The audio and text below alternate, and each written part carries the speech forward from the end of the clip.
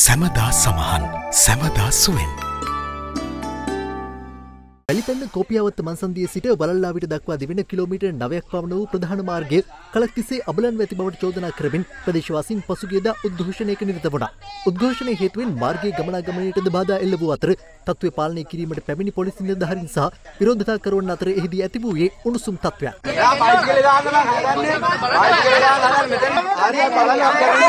බලන්න